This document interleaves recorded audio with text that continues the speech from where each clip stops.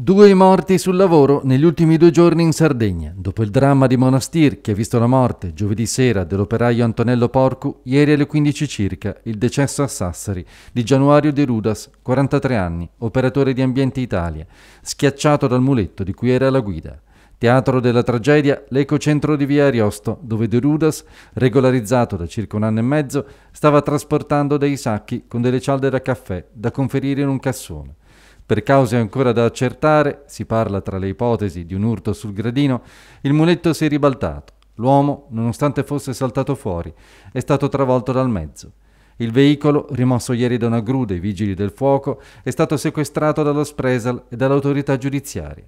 Le indagini saranno condotte dal magistrato Mario Leo e potranno forse avvalersi per chiarire la dinamica delle immagini registrate dal sistema di videosorveglianza dell'area.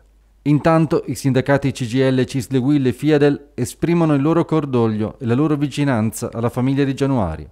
Sempre le parti sociali hanno deciso di attivare una raccolta fondi a favore della moglie di Januario e della loro figlia.